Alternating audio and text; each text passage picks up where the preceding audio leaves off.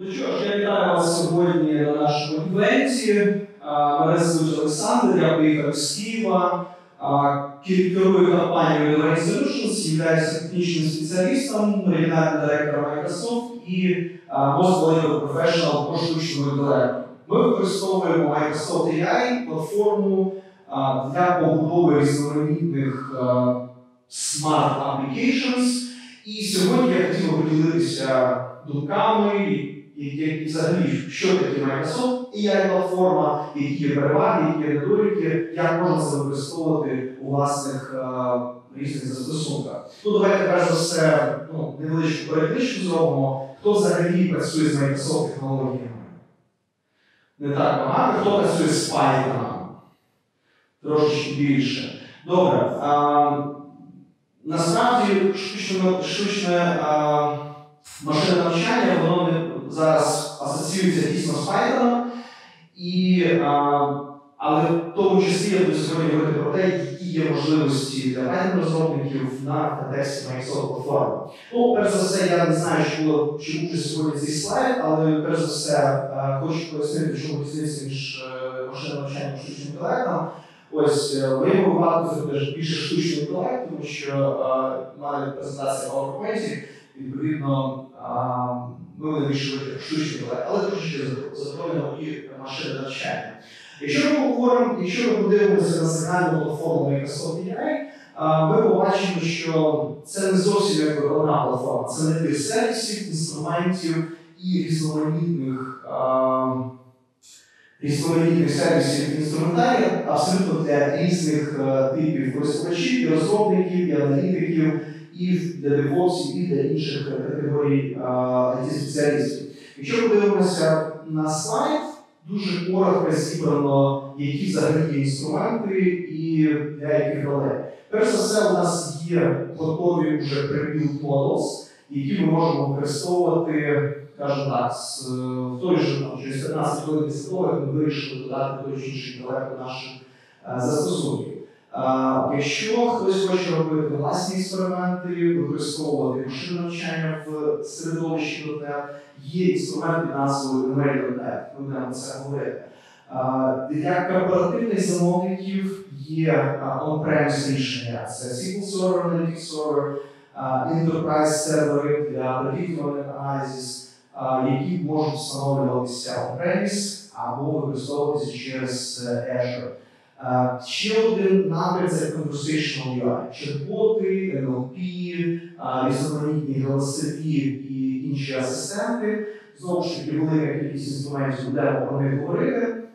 Є так звані інструменти для розробників, яким чином перетворити, наприклад, Visual Studio чи Visual Studio Code в хороший environment для розробки саме машинних інструментів і вибачте, аплікейшенів. А також є віртуальні машини, які ви можете використовувати, які вже а, доступні в Azure, і ви можете їх розгорнути і почати свої експерименти. Крім того, є велика кількість різноманітних програм. А, AI Labs, AI School, тобто додаткові програми, які дозволяють вас вам більш глибоко вивчити, що таке machine що таке artificial intelligence, і навчитися працювати з Microsoft AI платформою. Ну і не зовсім як AI, це більше називається AI to Data, різноманітні Azure Services, які дозволяють зберігати дані, аналізувати дані, візуалізувати дані і якимось чином маніпулювати цими даними. Тобто це не зовсім AI, але в принципі без цих сервісів е, дуже важко буде працювати з сервісом, який пов'язаний саме з AI. Якщо подивитися таку коротку класифікацію е, інструментів, у нас є Microsoft AI в клауді, е, є декілька інструментів Machine Learning Service, Learning Studio, когнітивні сервіси, Azure Batch AI. Про деякі з цих сервісів я буду говорити більш детально. Це буквально так загальна характеристика. On-premise рішення це SQL Server Machine Learning Services і Microsoft Learning Server. І Developer Tools.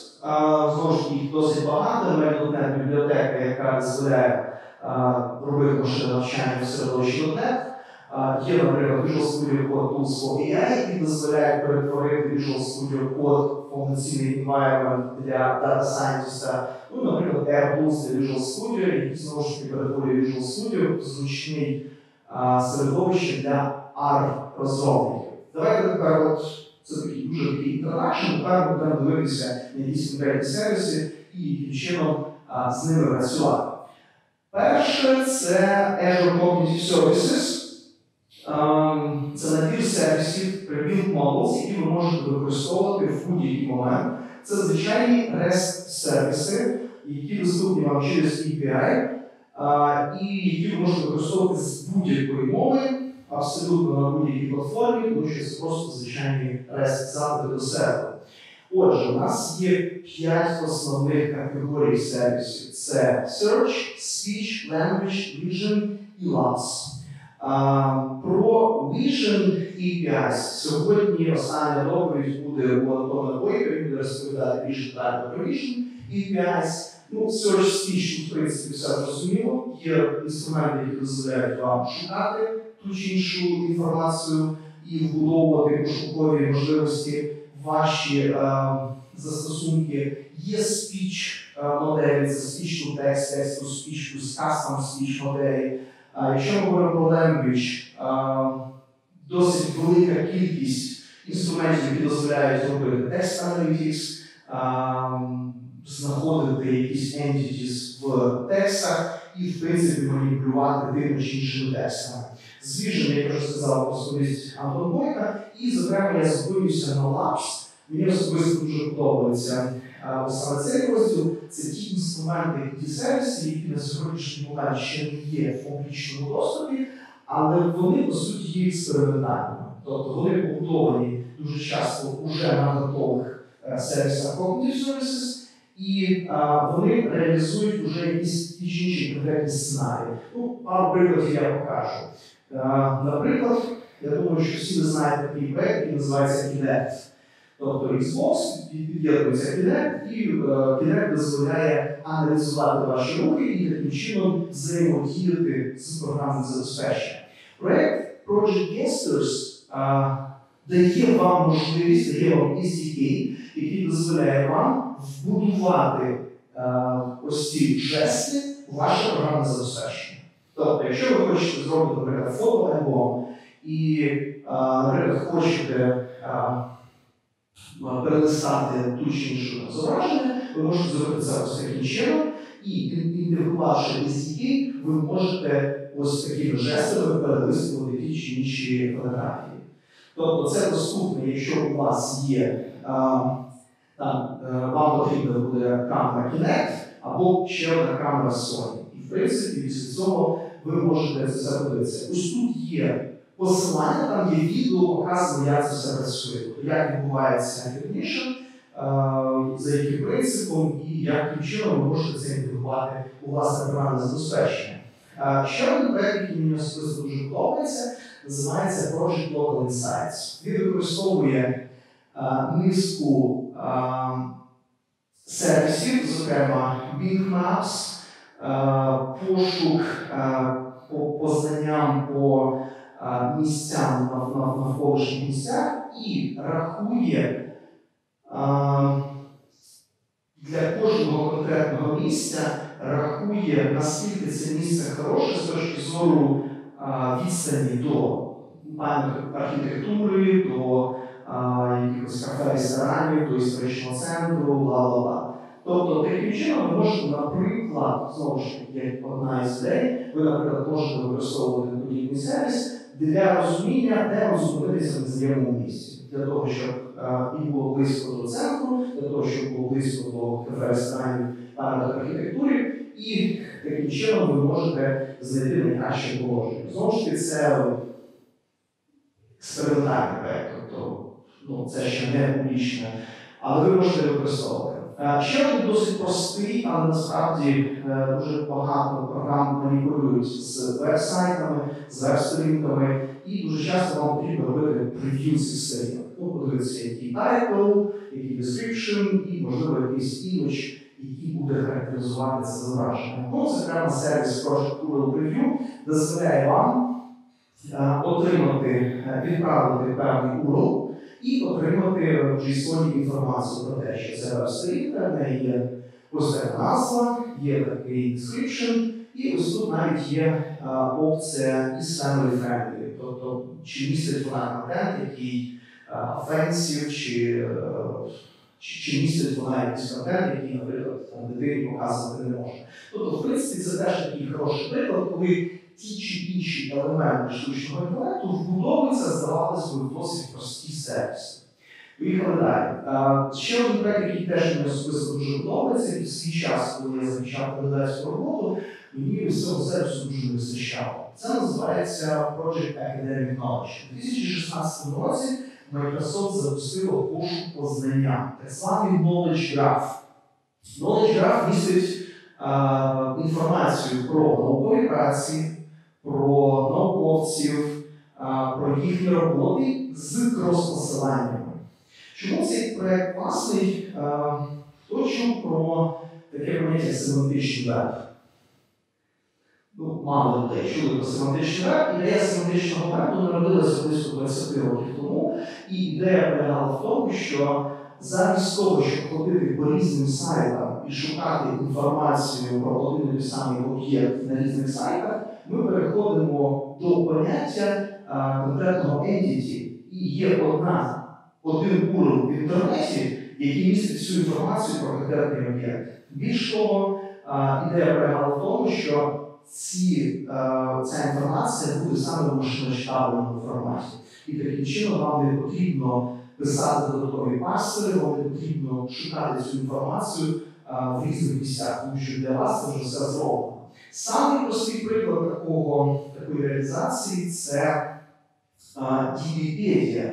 Це семантична імплементація Вікіпедії. Вікіпедія це слабо структуровані тексти. Тобто там є HTML, там є якісь посилання, там є якісь блоки, але спільно це HTML відображення інформації, тобто для людей. Якщо ви пошукаєте Вікіпедію, ви побачите, що вся ця інформація представлена в машиночитабельному форматі. Ось ця ідея, плюс, плюс ще дуже важливо, що ось ці семантичні вузли вони можуть бути вони можуть знаходитися теж в різних частинах інтернету. Наприклад, ще одним вузлом семантичним в інтернеті є сайт під назвою IMDb, там де знаходиться інформація про фільми, про акторів, рейтинги і так далі. І далі. Тобто інформація, наприклад, про актора може бути на IMDb і також бути на DVD. І між ними буде грати зв'язок. Ця концепція називається Linked коли ви отримуєте машиночитабельному форматі всю інформацію про той чи інший об'єкт, а також посилання, де є додаткова інформація про цей об'єкт. Насправді, ось ця концепція в певному вигляді реалізована в Facebook графі, Microsoft графі і в тому числі в Academic Knowledge графі, коли вся інформація між собою пов'язана. Таким чином ви можете шукати по університетам, по конференціям, по науковим працям. Плюс, якщо наукова праця посилається на інші наукові праці, ви можете також дуже швидко їх отримати. Порахувати е, цитування, перейти на автора, пошукати пов'язаних авторів. Таким чином, якщо ви займаєтеся науковою роботою, науковими працями, вам дуже просто знайти цю інформацію в інтернеті за допомогою цього проєкту. Більш того, ви можете зробити і в програмному вигляді, тобто ви можете отримати доступ і отримати весь цей доступ через знову ж таки API і вбудовувати цю інформацію в власне програмне забезпечення. Я не буду зупинятися дуже сильно на когнітивних сервісах, тому що, як я вже сказав, Антон розповість трошки це детальніше. Перейдемо до машинного навчання. Отже, вам по якійсь причині не підходить а, використання готових сервісів, ви хочете створити власний експеримент, власну модель. І для цього зазвичай використовувався саме Python, і, а, і в принципі ви можете продовжувати використовувати той інструмент і ту технологію, яка вам подобається. Але Microsoft знову ж таки вирішила, що у неї є достатня кількість накопичених алгоритмів, методів і, в принципі, досвіду цій сфері, і таким чином народилася програма, бібліотека під назвою email.net. Вона була анонсована на Microsoft Build буквально півроку тому. Була версія 0.1. На сьогоднішній момент це вже 0.8, тобто релізної версії ще немає. Але в принципі вже досить ну, за півроку прогрес цієї бібліотеки є досить досить суттєвий. Ця бібліотека крос-платформа. Це означає, що вона ви використовувати її в Core, на Linux, на Mac, на Windows, на підтримує 64 x86 архітектури і підтримує на сьогоднішній момент плюс-мінус всі стандартні задачі машинного навчання. Класифікація, регресійний аналіз, бінарна класифікація і так далі. І так далі. Якщо говорити про архітектуру цієї бібліотеки, ми можемо побачити, що є стандартні набори, які дозволяють трансформувати дані, очищати дані, яким чином підготовлювати дані. Є різноманітні learners, і в кожній версії ці кількість learners не додавалися. В кожній виходили нові і нові learners.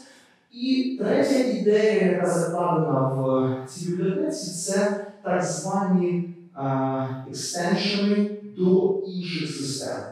Ну, знову ж таки, це може бути і Microsoft SDK, це може бути TensorFlow, це може бути якісь інші системи. Зокрема, в версії 6 був доданий ONX, підтримка ONX формату. Це формат, по суті, стандарт, е, який ви можете з однієї системи експортувати модель і перенести її в іншу систему.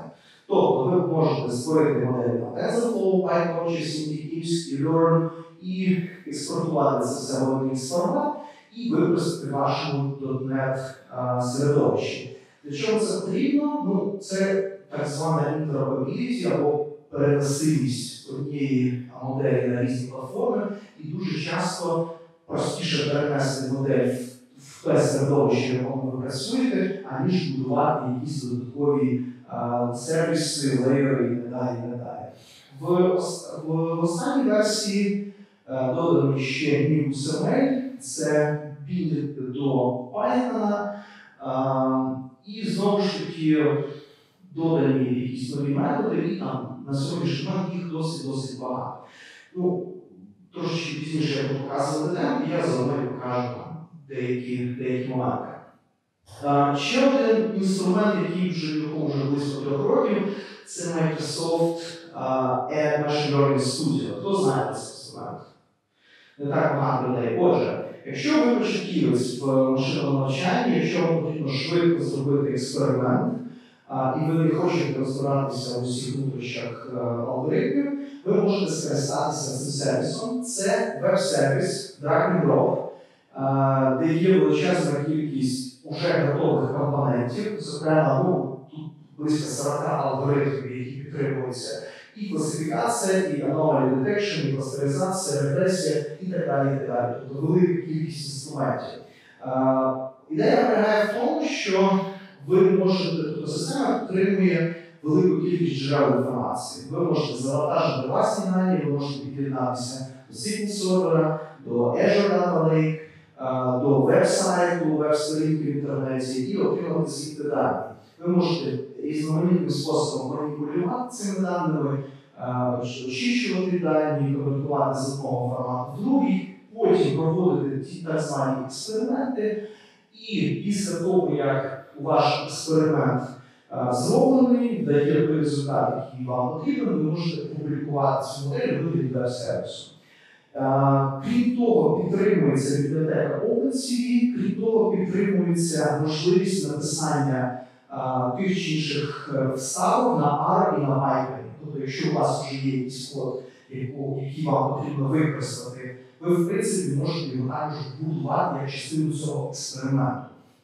Ось насправді, коли Microsoft запустила цей сервіс, його не дуже піарили і більше позиціонували його як для початківців. Але насправді, буквально два тижні тому вийшов анонс про ще один сервіс, про який буде далі мова, і який став, по суті, експериментальним майданчиком і джерелом джерелом даних, на яких збиралося і тренувався сервіс. Сервіс називається, ну така трошки графологія, тут Azure Machine Learning Studio, а це Azure Machine Learning Service.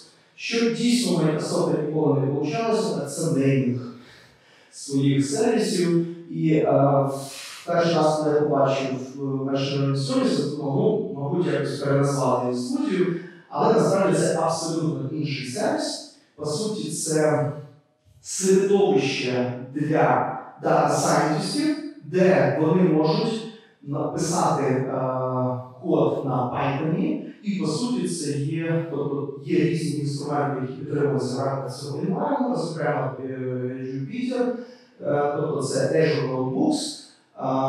Знову ж таки, ви, звісно, зможете продовжувати використовувати Jupyter там і на локальній машині, на інших сервісах, але основна ідея в тому, що цей environment він включає в собі велику кількість різноманітних інструментів в рамках одного середовища, саме для Python розробників. І ще одна ще одна річ, яка стала продовженням цього сервісу, тобто цей сервіс зараз знаходиться в прев'ю версії, він вийшов буквально два тижні тому. І ось така річ називається Automated ML, яка є частиною Azure Machine Service. Як ну, з назви Automated ML, в принципі, витікає його призначення. Тобто, це, якщо подивитися на Skillorn cheat sheet, по суті, це такий це сайт Skillorn, Тобто це рекомендації, яким чином обирати льордери для тих чи інших ситуацій. Ну, Якщо у нас є багато даних, вибираємо такий алгоритм, якщо там у нас мастеризація, такий алгоритм і так далі. і так далі. Всі ви прекрасно розумієте, що а, очистка даних займає дуже велику кількість часу, і друга задача, яка займає так само велику кількість часу, це по суті підбір параметрів, підбір того алгоритму, який буде працювати найкраще для цих даних. І насправді це може займати нам до 80% всього часу роботи дата сайентіста. Ідея Automated ML полягає в тому, що замість того, щоб проходити вручну всі етапи нашого ML експерименту, ми по суті повинні просто дати наші дані, сказати, яку задачу ми хочемо вирішити класифікації, лінійної регресії чи чогось. І Automated ML автоматично почне перебирати різні варіанти для того, щоб в кінці надати вам найкращий алгоритм з найкращими параметрами. Ось, в принципі, основна задача авто, Automated ML. Як це працює? Коли люди почали користуватися Azure Machine Learning Studio, люди завантажували, користувачі завантажували свої дані, робили ті чи інші експерименти, і система, по суті, вчилася на цих даних. Тобто на вході були дані, на виході були певні параметри, люди пробували різні е, методи, різні параметри. І ця інформація не самі дані, а саме інформація, яка задача, які параметри і який алгоритм працював найкраще. Ось ця вся інформація була зібрана протягом останніх декількох років, і на базі цих даних був проведений ще один ну, ще одне машинне навчання, яке власне і лягло основу цього сервісу. Тобто, по суті, сервіс намагається вгадати який алгоритм з якими параметрами найкраще підійде для вашої моделі. Це вписується в певну концепцію Microsoft, яку вони зараз пропагандують, це демократизація штучного інтелекту, коли люди навіть без дуже глибокого математичного бекграунду в принципі можуть досить просто почати створювати власні експерименти. Ще одна важлива задача, проблема це дезінтегральні для досліджень.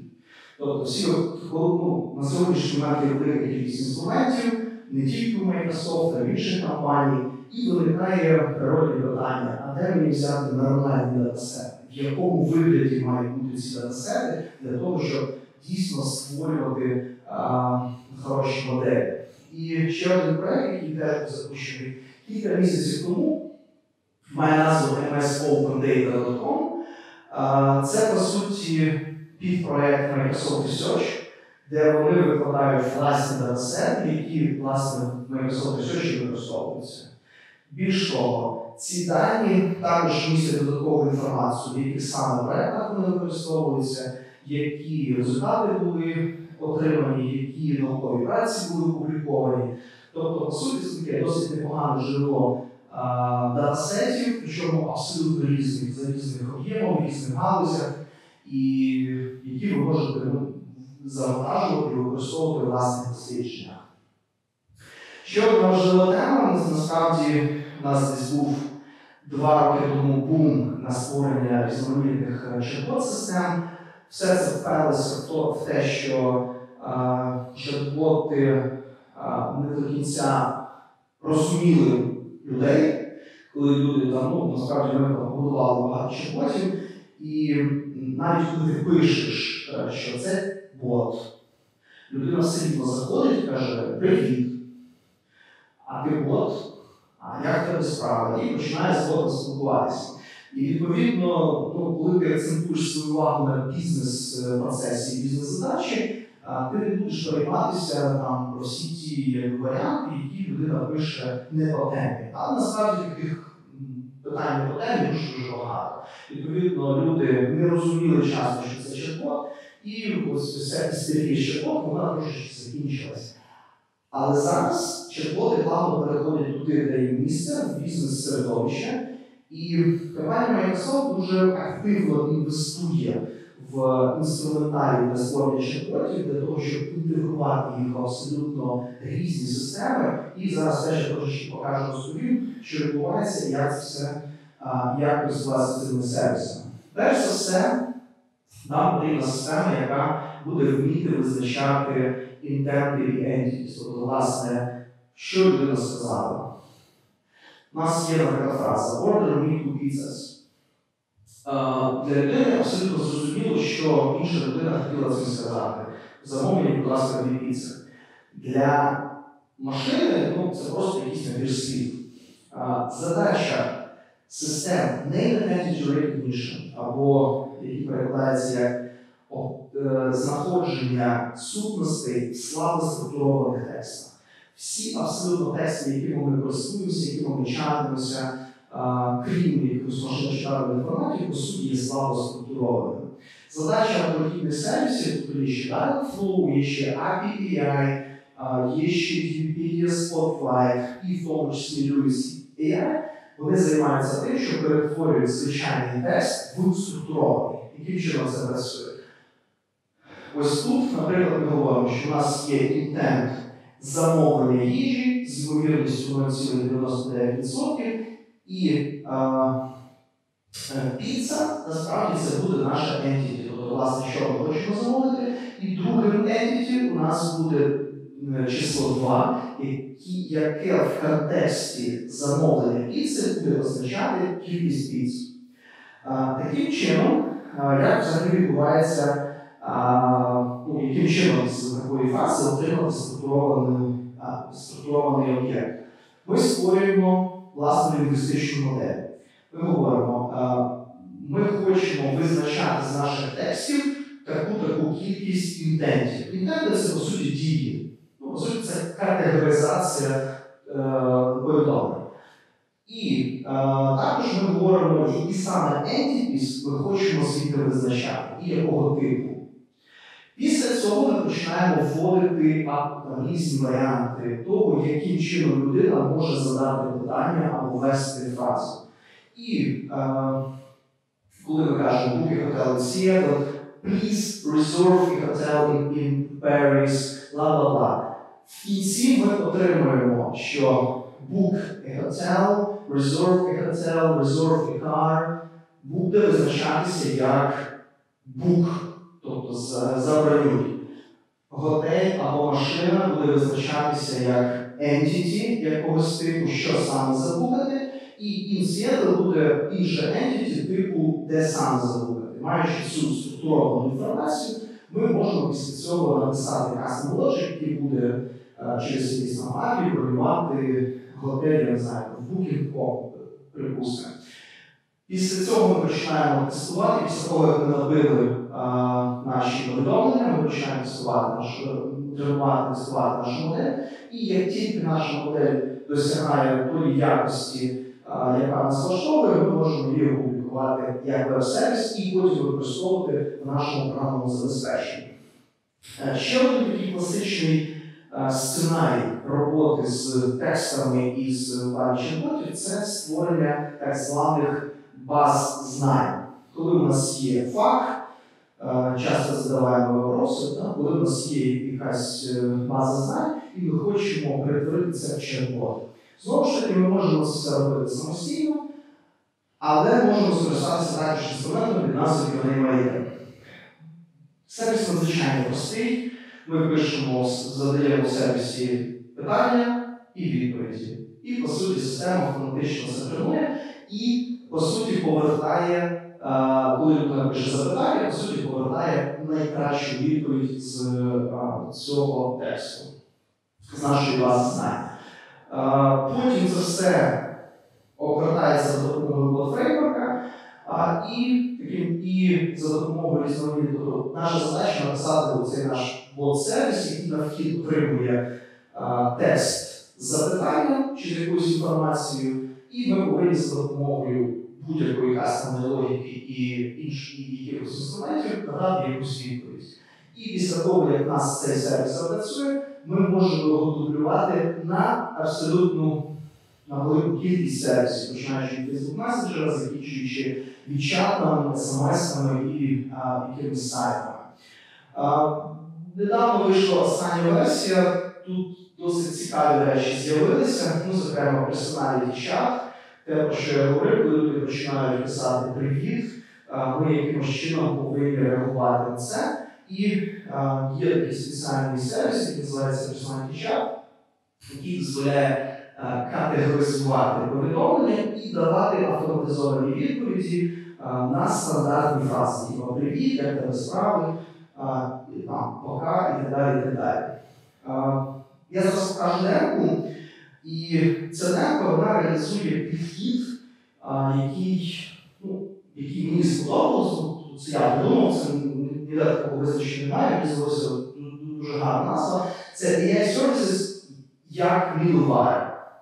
Тобто у вас є якесь програмне забезпечення, яке вже працює, або ви його будуєте, і ви використовуєте велику кількість інструментів. Це може бути абсолютно якісь бібліотеки, це може бути якісь бази знань, це може бути власне основна логіка. І ось тут ми можемо додати як ще один middleware – це ті чи інші сервіси штучного інтелекту, які будуть вклинюватися в роботу вашого, е, вашого програмного забезпечення і робити якісь інтелектуальні речі. Е, Давайте я покажу демку.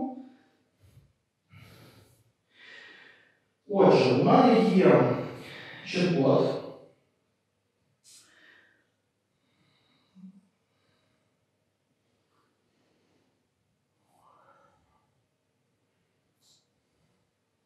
У мене є чат-бот. Е, Я використовую бот Emulator е, локально на машині, перед тим, як публікувати його в Хмарі. Е, Я починаю мій conversation.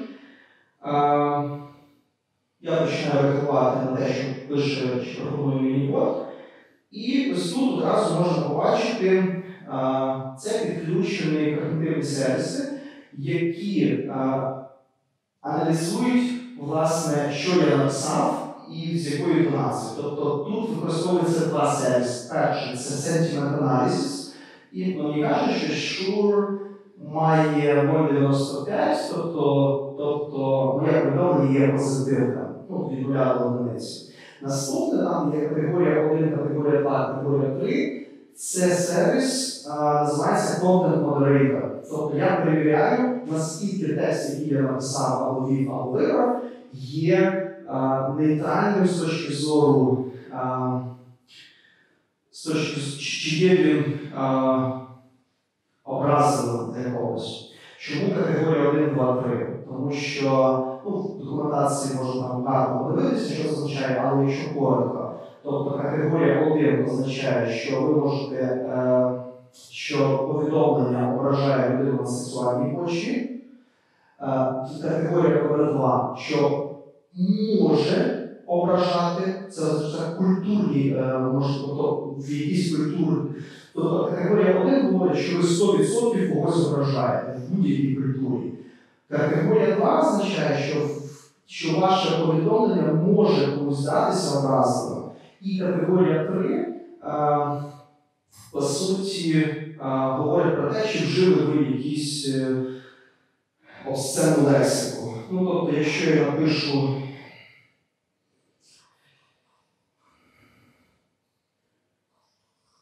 Е,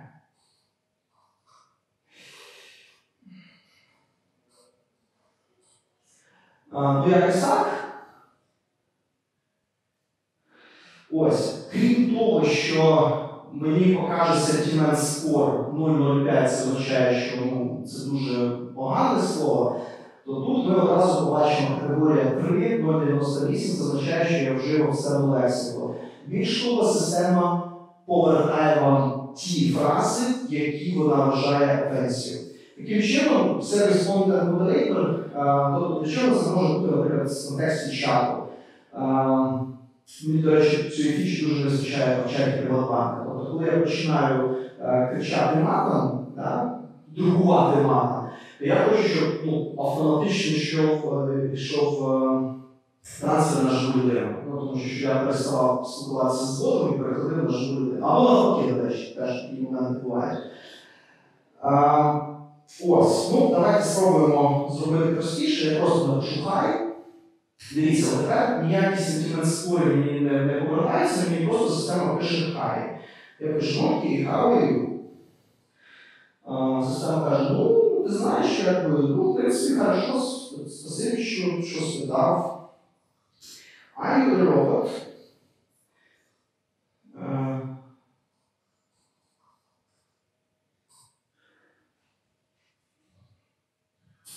Ну, таке скучненько, да? Йдемо в code. І в нас тут є певні, певні нюанси. Е, Нюанс називається persona. Зараз я використовую friendly persona, але в мене є два варіанти. Я можу використовувати професіональну і гумористичного чувача. Тобто, в принципі, якщо я вставлю в коді гумористичного чувача, я напишу хай. Зараз воно скомпілюється, секунду.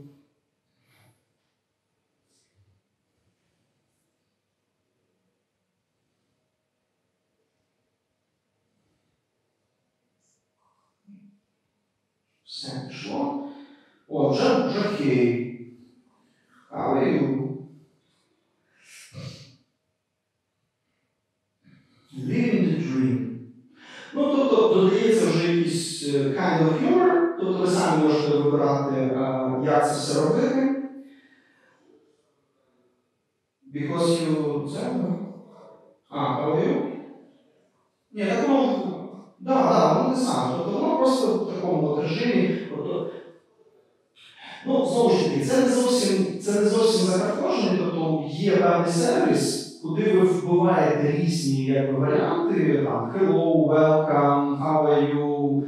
І система визначає, які саме, ем, якісь, яка саме категорія е, е, звернення і відповідає, в принципі, плюс-мінус однаково. Знову ж таки, персоналіті зараз знаходиться як експериментальний проект, але вже його можна використовувати. Тут дуже важливий момент, що е, коли система визначає ось цей е, текст як е, привітання, як персоналіті, ну тобто, то ми не рухаємося далі. Тобто, по суті, я зараз говорю з якимось роком, далі жоден мій сервіс додатковий, сентимент аналіз нічого не використовується, тому що в принципі в цьому немає сенсу. А, тепер дивіться, якщо, от якщо подивитися на програмний код, от те, що говорив про middleware, тобто в middleware ми можемо під'єднувати велику кількість сервісів. Тобто я говорю, окей.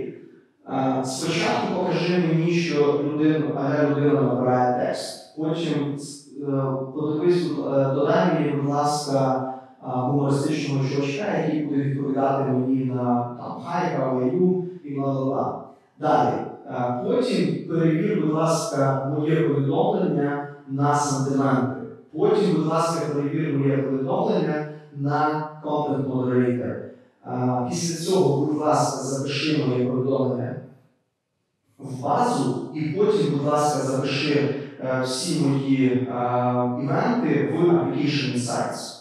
Application Insights ми потім можемо побудувати дешборди для конкретних кастомерів. З бази ми можемо дістати потім всю статистику, плюс це все автоматично е, в, в Azure сервісі, відповідно, ви можете також статистику отримувати.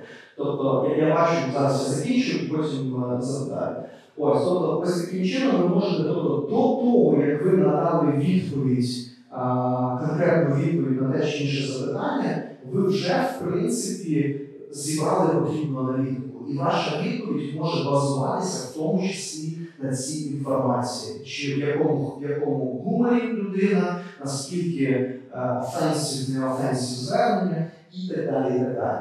Тобто тут варіантів досить багато. Ще один приклад можу показати. А, Якщо, наприклад, ми не знайшли відповідь в нашій локальній базі, ми можемо підключити, наприклад, Q&A сервіс. Знову ж робиться це досить просто, є Q&A сервіс, от, відправляємо туди повідомлення, назад отримуємо найкращу відповідь, я- якщо така відповідь знаходиться в нашій базі знань. Е, У мене моя база знань пов'язана з медициною. Я вбиваю назву хвороби. Знову ж таки, ми аналізуємо все на аналіз. Ну, щось пішло, а знаєте, що пішло не так, тому що е, ви бачили затримку на початку, і це тут і зламалося. Тобто ідея в тому, що е, треба було поставити правильні ключі, і, на жаль, перед цим перевантажився, і ключ неправильний залишився в цьому проєкті. Відповідно, ось тут ми можемо також отримати найкращу відповідь з нашої бази знань. Ось таким чином, навіть на такому простому прикладі, як чат-бот на якихось дуже простих операціях, можна а, побачити, яким чином а, під'єднати різні AI-сервіси і зробити програмне забезпечення більш розумне. Закінчую. Data Science, Virtual Machine, тобто ви можете на власному Azure аккаунті розгорнути уже проінстальовану машину. У вас є можливість, е, там є декілька опцій. Ви можете розгорнути Windows машину, можете розгорнути Linux машину. Уже є набір пред- предстановлених е, програм, пакетів різних. Тобто, по суті, вам не потрібно нічого додатково інсталювати, ви просто піднімаєте ваш е, образ і починаєте робити ваші експерименти, в залежності е, від того, е, що вам потрібно. Е, Насправді ще багато є різних інструментів, програм, різних можливостей для дата сайентистів, є гранти, де, науковці можуть отримати доступ до Azure. Є різні AI Labs, де є досить цікаві проекти, як можна комбінувати ті чи інші сервіси для створення цікавих продуктів. Є досить жартівливі а, інструменти, а, наприклад, а, проект Murphy, який дозволяє а, сказати, а що якби я був Джоном Сноу? І система шукає фотографію Джона Сноу в інтернеті, просить завантажити вашу фотографію і потім вашу фотографію ставить, ваше лице ставить на місце лиця Джона Сноу.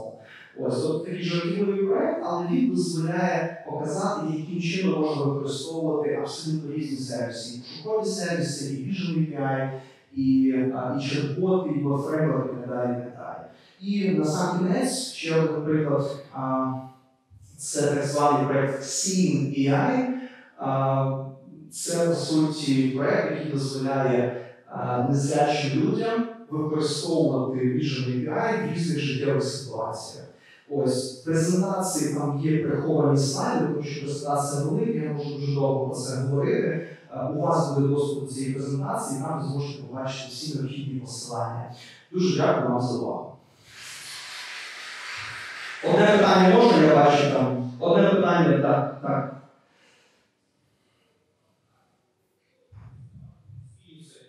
Можна ще раз повторити, будь ласка. Э, Пока разговор не хотел, то есть он спится там, то есть и не переходит к э, основному. А если вопрос, for mood in uh, teach somewhere? Мгм, Окей. Тобто дивіться, е, з точки зору, якщо ми говоримо про чат-боти, е, тобто я показав просто різні сервіси, які просто в хаотичному порядку якимось чином запускаються. Е, Оцей пайплайн, він, він є трошечки складнішим, в мене просто не було багато часу про це говорити. Насправді там є ще додаткові інструменти, які дозволяють переключати контекст з одного діалогу на другий, переключати е, чат-бота в режим живої людини, е, вибирати не, якщо ви використовуєте декілька Lewis моделей, ви можете обирати найкращий варіант автоматично. Знову ж тому що іноді ви е, іноді, ну не іноді, а майже завжди у вас буде декілька моделей лінгвістичних. І ну, якщо ви почнете там вручну це все там робити запити, шукати де найкращі результати, це буде довго, ви будете робити рутинну роботу замість того, щоб писати бізнес-логіку. Насправді все це теж зроблено, тобто є так званий диспатчер пул, який дозволяє е, зробити запити в ті чи інші сервіси, в Lewis, е, 1, Lewis 2, Lewis 3, і сказати, ось ось ця модель найкраща, тому використовую її. Плюс я не встиг показати демку Льюіса, на жаль, мало часу. Тобто дивіться, якщо я напишу, будь ласка, допоможи мені, от в мене в даному коді в мене немає обробки такого підходу, але це загальний підхід, людина просить допомогти.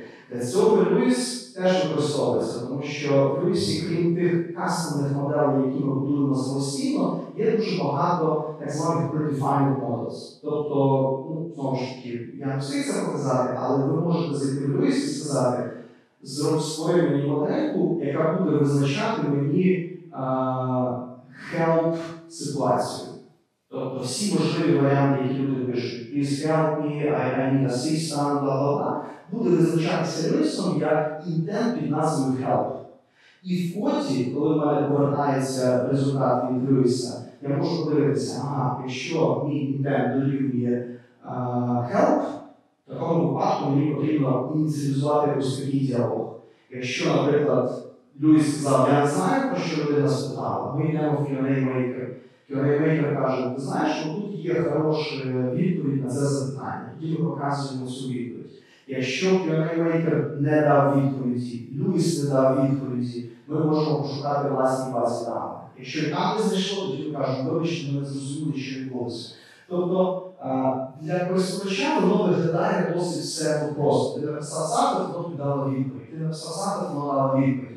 Ну, з точки зору цієї бізнес-логіки, там все набагато складніше. І моя задача була показати, що є велика кількість інструментів, які можна комбінувати в залежності від вашої бізнес-задачі.